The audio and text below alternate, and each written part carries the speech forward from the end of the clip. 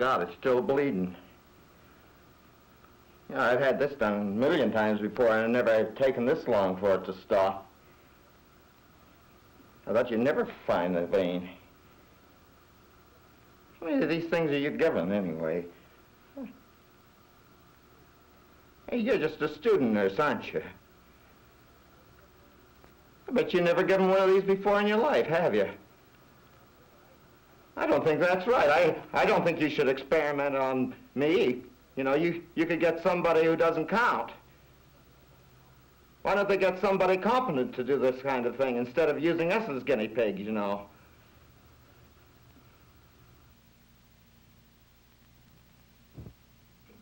Well, I'd, I'd really rather talk to the doctor about this. I don't want to spend my time talking to you and then have to repeat it all over. Uh, I certainly hope I don't have to wait around here for the doctor 30 or 40 minutes. I, I wanted to come in and tell him about this thing and and then get on with it. I, the ladies at the Bridge Club just drive me crazy. They, well, I, I, when I'm the dummy, I have to sit there and wait, and I don't want to wait here now. I, I really hope he comes on in. I want to talk to him about this problem I'm having.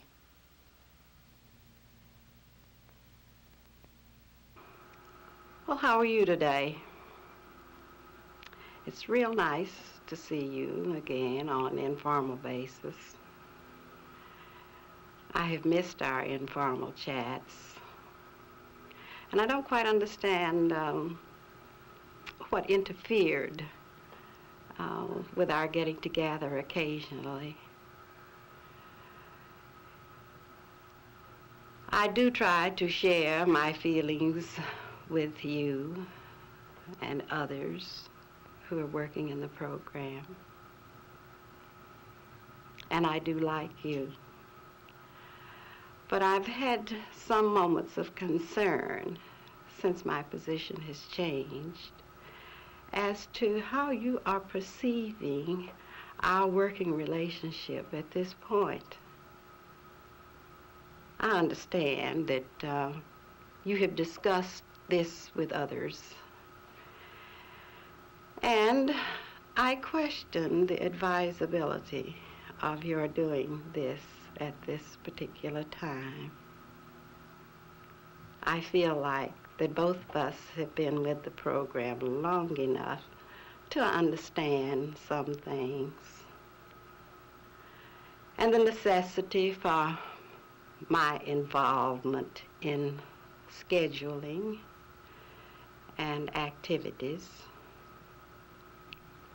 So, although I like you very much, I do question what you do with your time.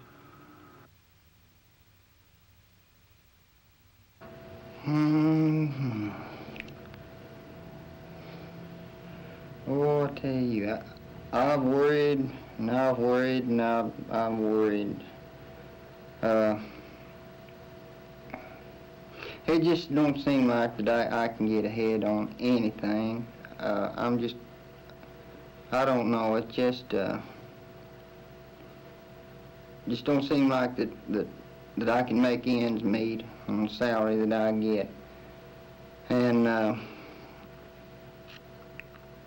kids, I've got them on my mind, and my, and my wife, I, it just, it's just something all the time. I, uh, it's just, it, it's disgusting and, uh, uh, I, I don't know, I, I've tried time and time again to, to, uh, uh, get where I could go and talk to teach her about the kids. She keeps calling and saying that they're always into something, want to know if uh, I'm not going to do anything about it. And I, I don't know, and I've got so much on my mind. I'm working two jobs. I got my mind on my wife. Now, now then, I've got my kids. I, I just don't know what to do. It's, uh, it's beyond me. It, I know that there's, uh, I just might as well give up because uh, the more I talk about it, the, the worse I get, the worse I feel. And uh, I just, just don't seem that I can get anything over to them. Uh, just seem like they, now my, my kids, I'm, talking about mine, uh, seem like they think they just know just a little bit more than their parents do. And I, I've just, uh, with my financial situation and my working status, I just, I've just gone my limit.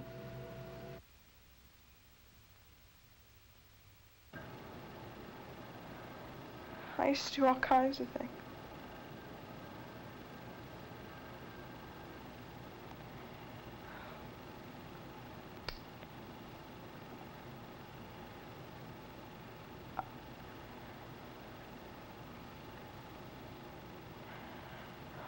I liked learning. And uh,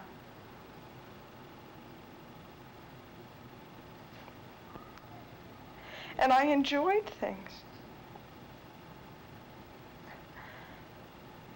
And there was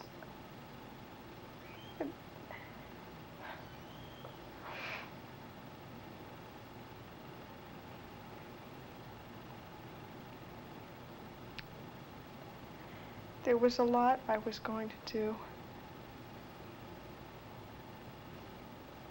And now I can't do any of it. And I don't understand why.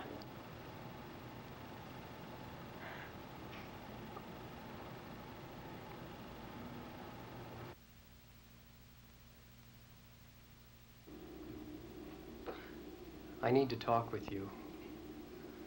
It's hard for me to say this to you because, well, it's hard to put into words the way I feel, but I just have to tell you that I've been around here for a long time, and you are by far the finest nursing student that I have ever seen on this unit.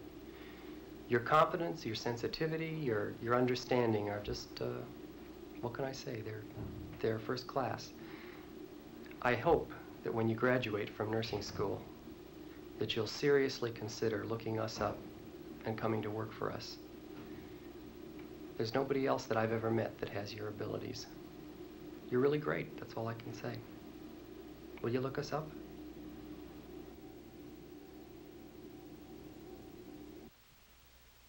I need to talk with you. When people like you come on the ward, I make the assumption that they are going to be of some help to us in taking care of our patients. Now, I've seen people who are students who make minor mistakes, but what you did falls out of the category of a minor mistake, and that starts getting into where you can really do some serious damage to another human being. Now, if you intend to stay on this unit, you will have to make, cer make certain that you do not ever make an error like that again. That's not just incompetence, that's insensitivity. And the kind of insensitivity that you showed could have killed a patient. I don't ever want to see that again on this unit, and I don't ever want to see your face if you ever do anything like that again.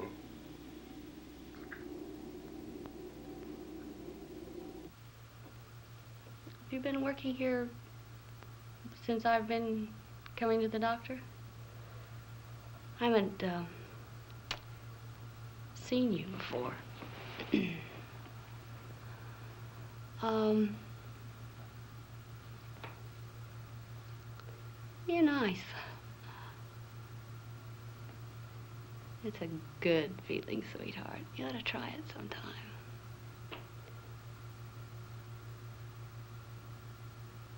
You really should try it. Hmm.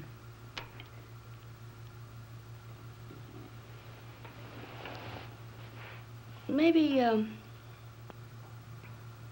Maybe after you get off work this evening, we could uh, stop by this cute little bar I know. Some real cute chicks there.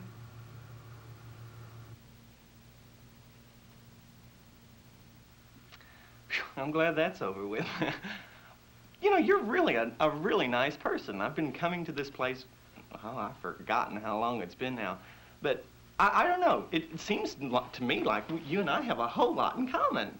Uh, I was wondering, I was thinking about this the other day. Uh, I don't know what it is, but I, I really think you and I could really make a go of it other than here in this office, you know? So, uh, why don't you give me your phone number and uh, maybe we can set up a date sometime and, and go out and, and uh, I don't know, do whatever you want to do. And uh, I think I've got a few friends that you might be interested in too. I, I've, I've got several friends. They drop into my apartment all the time. And I don't know, I, I, think you and I could really hit it off because I've already noticed that we have a lot in common.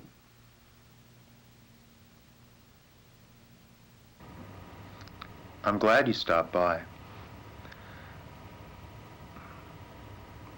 You know, I've been here for a while now, and I've had a lot of time to think about things. Well, I've been thinking a lot about you, especially in the last three or four nights.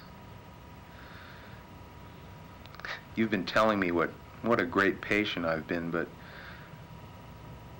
I don't know if I've ever told you what a fantastic person you are.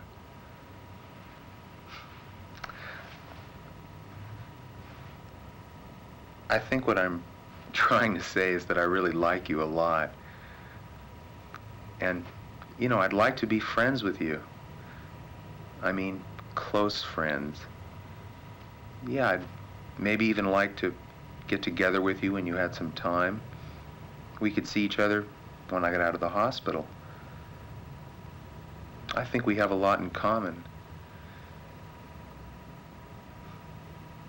How do you feel about that?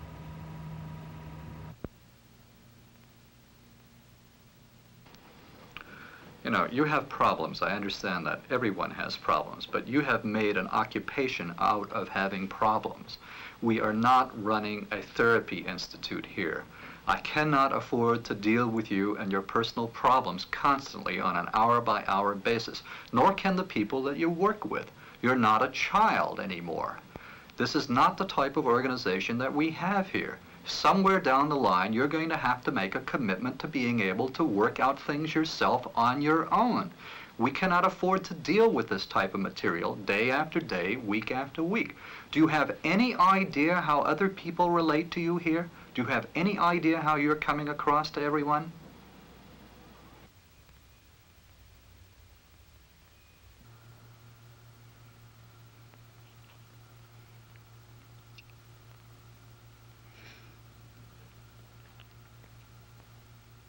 Hey, uh, Florence Nightingale. Come here.